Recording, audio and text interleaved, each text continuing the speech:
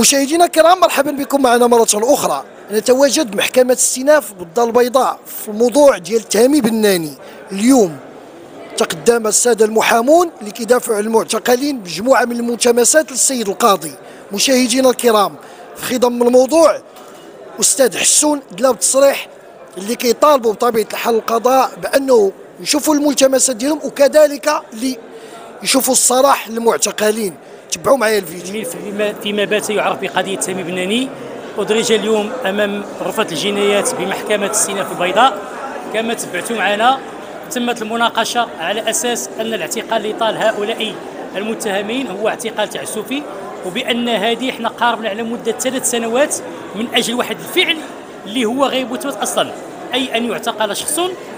ونبحث فيما بعد عن وسائل إثبات الكفيله للقول بوجود ديك الجناية ديال القتل من عدمها. تقدمنا بملتمس اعتبار القضية جائزه والتراجع على آه، أو استيلاء إحدى المصرحات على اعتبار أن التصريح ديالها موجود بمحضر الضابطه القضائية موجود لدى السيد قاضي التحقيق وأن الاعتقال ديال الأشخاص هو الآن أضحى اعتقالا تعسفيا في آه، بعيد عن وجود أي ركن أو عنصر يمكن القول معه بقيام الجريمه ديال قتل العمد في حقهم. المحكمة قررت أنها تحجز. طلبات ديالنا المتعلقه بالسراح طلبات ديالنا المتعلقه بتجهيز القضية إلى آخر جلسة. حنا الآن غنبقاو ننتظروا إن شاء الله إلى غاية الساعة الثانية عشر أو الواحده زوالا باش نعرفوا النتيجة أو القرار اللي غتاخذه المحكمة سواء اعتبار القضية جاهزة أو التأخير ديالها أو تمتيعا بالسراح المؤقت جاهزة. تقدمنا حنا بملتمس كالتمسوا في المحكمة اعتبار القضية جاهزة على أن المدة اللي قضوها هؤلاء الأشخاص على الاعتقال قد قاربت على ثلاث سنوات. وأكدنا على أن المحكمة أو الأفعال المتابع بها هؤلاء الأشخاص هي أفعال غير قائمة في حقهم. لانتفاء العناصر التكوينية للفعل بالدليل أن الأم نفسها الضحية كتأكد بأن الابن ديالها مازال على قيد الحياة وأن الحكم التمهيدي كيقر أيضا بأن الإبن مشكوك في القتل ديالو وأن في الجلسة السابقة إحدى السيدات المرافقات للطرف المشتكي صرحت أمامنا وبالمحكمة بأن التهامي بناني ما زال على قيد الحياة وبأنه موجود في منطقة تماره هذا الاعتبار وهذه المسائل أو هذه التصريحات وهذه الوقائع هذه تقدمنا بملتمس إلى المحكمة باش نعتبروا القضية جاهزة ونناقشوها على ضوء هذه المستجدات وعلى ضوء ما أفضت به المصرحات التي تود المحكمة إحضارها. وتقدمنا أيضا بطلبات ديال الصراح المؤقت في حالة ما إذا اعتبرت المحكمة القضية غير جاهزة. الآن الملف تم حجزه للمداولة للبث في طلبات المتعلقة سواء بجاهزية هذا الملف وأيضا فيما يتعلق بالطلبات المتعلقة بالسراح المؤقت في حق المتهمين. أكدتم في تدخلاتكم أنه كانت هناك تناقضات خصوصا في الصفحة 23 فيما يخص التحقيقات اللي قام بها قاضي التحقيق. لا هذيك لا هذاك التدخل ديال الاستاذ كالروض فيما يتعلق ب 23 أنه هناك تناقض فيما يتعلق بالتعليل لأن السيد قاضي التحقيق كان يتحدث عن أفعال أخرى كالتغيير بقاصر لينتقل مباشرة إلى القتل العمد ويقول بأنه يقترب بأن هناك جريمة القتل على التمييزات في حقهم دون تعليل يذكر.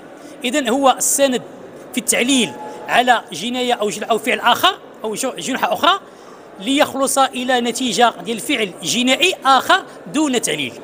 هذا هو سبب المناقشه إحنا ملي ناقشنا ناقشنا على أساس واحد النقطة أخرى هي المتعلقة بأن السيد قاضي التحقيق لم يكن مقتنعا حتى في متابعته لأن المتابعة جاءت متناقضة. القتل العمد عدم تقديم إسعاف لشخص خطر وعدم التبليغ عن جناية. كيف يعقل أن الشخص يقتل؟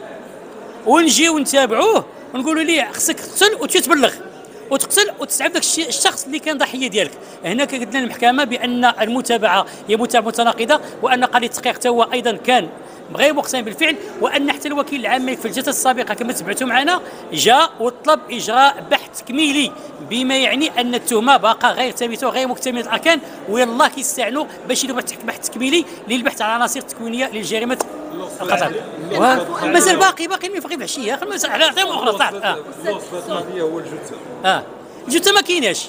ما عندناش قتل عندنا صريح الفعل القرار ديال السيد قاضي ديال الجلسه الهيئة السابقة أكد بأن الجثة ما كايناش والأم كتقول كل دي باقي حي. يعني التأكد ديال القتل العام ما كاينش والشك يفسر لصالح المتهم. هذا هو الأصل.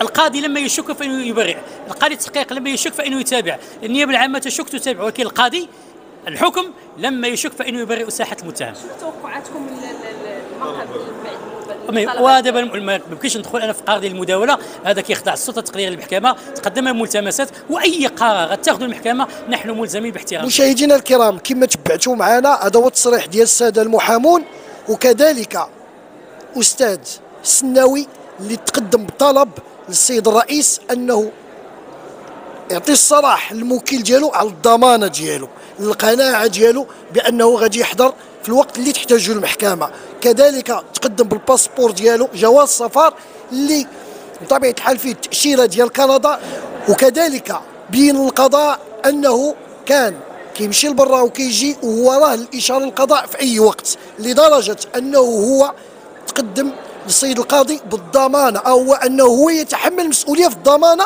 للموكل ديالو من أجل إقناع القضاة في الصلاح المؤقت. مشاهدينا الكرام الآن مداولة من أجل البت في اللي تقدموا بها الساده المحامون اللي كينوبوا المعتقلين وكذلك هل القضاء سوف يعطي الصلاح نعم أم لا؟ تبعوا معنا.